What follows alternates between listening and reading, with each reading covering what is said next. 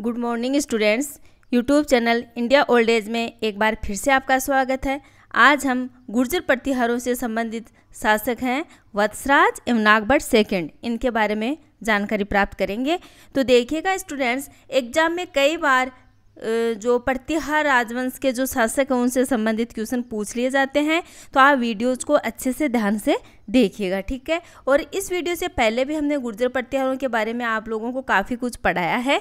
तो पहले वाले वीडियोज़ भी आप प्ले लिस्ट में जाके और देख सकते हैं, ठीक है? तो चलिए पढ़ते हैं। गुर्जर प्रतिहार शासक वत्सराज एवं नागभट्ट सेकंड का इतिहास।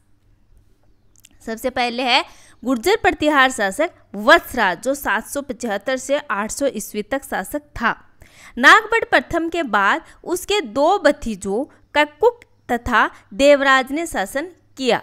वे दोनों निर्बल शासक थे, जिनकी किसी भी उपलब्धि के बारे में पता नहीं चलता है। गुर्जर प्रतिहार वंश का चौथा शासक वत्सराज था। वत्सराज देवराज का पुत्र था। वत्सराज को गुर्जर प्रतिहार वंश का वास्तविक संस्थापक माना जाता है। इसने कन्नौज के शासक इंद्रायुद्ध को हराया था। ग्वालियर अभिलेख से पता चलता है कि उसने प्रसिद्ध भांडी वंश को पराजित किया, जिनकी राजधानी संभवतः है कन्नौज थी। उसने बंगाल के शासक धर्मपाल को भी पराजित किया तथा एक महान साम्राज्य की नींव डाली। वत्सराज एक शक्तिशाली शासक था तथा उसने उत्तर भारत में एक साम्राज्य की स्थापना की, लेकिन उसे राष्ट्रकूट शासक ध्रुव ने बुरी तरह पराजित किया।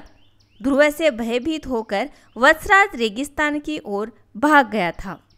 वत्सराज के समय में जैन आचार्य जिनसेन ने हरिवंश पुराण की तथा उद्योतन सूरी ने कुवल्ले माला की रचना की थी, ठीक है? वत्सराज ने ओसिया के मंदिरों का निर्माण करवाया था। ओसिया जैन व सूर्य मंदिरों के लिए प्रसिद्ध है। ओसिया के मंदिर महामारू शैली में बने हैं, लेकिन ओसिया का हरिहर मंदिर पंचायतन शैली में बना हुआ है, ठीक है? तो ध्यान में रखने वाली बात है कि जो ओसिया के मंदिर है, वो महामारू शैली में बने हुए हैं, लेकिन ओसिया का जो हरा, जो हरिहर मंदिर है, वह पंचायतन शैली में बना हुआ है, ठीक है? ओसिया राजस्थान में प्रतिहारों का प्रमुख शक्ति का केंद्र था। ओसिया जो जोधपुर में के मंदिर प्रतिहार कालीन हैं। ओसिया को राजस्थान का भुवनेश्वर कहा जाता है। ओसिया में सचिय माता या ओसिया माता का मंदिर है, जिसमें महिषासुर मर्दिनी की प्रतिमा स्थित है। वत्सराज को रणहस्तिन भी कहा गया है, ठीक है?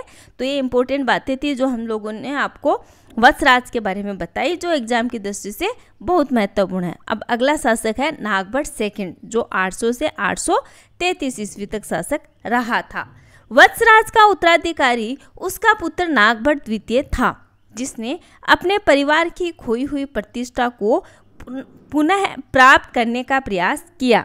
लेकिन वह अपने पूर्वज की भांति दुर्भाग्यशाली सिद्ध हुआ और उसे राष्ट्रकूट शासक गोविंद तृतीय से पराजित होना पड़ा। नागभट्ट द्वितीय ने दूसरी दिशाओं में अपनी तकदीर आजमाई। उसने कन्नौज पर आक्रमण कर धर्मपाल के नामजद शासक चक्रायुद्ध को पदच्युत किया तथा कन्नौज को प्रतिहार राज्य की राजधानी बनाया था। अपने अधीनस्थ शासक की पराजय का बदला लेने के लिए धर्मपाल ने तैयारियाँ शुरू कर दी तथा संघर्ष भी अवसंभावी हो गया था। प्रतिहार शासक ने धर्मपाल को पराजित कर मुंगेर तक अधिकार कर लिया। उसके पोते के ग्वालियर अभिलेख के अनुसार नागभट्ट द्वितीय ने अनर्थ अर्थात उत्तरी काठियावाड़, मालवा या मध्य भारत, मत्स्य या पूर्वी राजपुताना किरात, जो हिमालय का क्षेत्र था, तुरुस्क, जो पश्चिमी भारत के अरब निवासी थे, तथा कोसाम्बी क्षेत्र में वत्सों को पराजित किया। नागभट्ट द्वितीय के अधीन प्रतिहार साम्राज्य की सीमा में राजपुताना के भाग, आधुनिक उत्तर प्रदेश का एक बड़ा भाग, मध्य भारत, उत्तरी काठियावाड़ तथा आसपास के क्षेत्र थे। नागभट्ट द्वितीय का उत्तराधिकारी उसका पुत्र रामभद्र था, जिसके तीन वर्षों के छोटे शासनकाल में पाल शासक देवपाल की आक्रामक नीतियों के कारण प्रतिहारों की शक्ति का पर ग्रहण लग गया था। नागबर सेकंड ने परम बठारक महाराजा राज परमेश्वर की उपाधि धारण की। राष्ट्रकूट शासक गोविंद ने उत्तर भारत की राजनीति में हस्तक्षेप करना प्रारंभ कर दिया।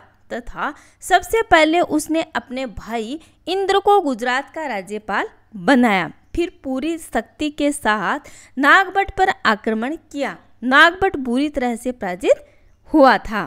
ठीक है?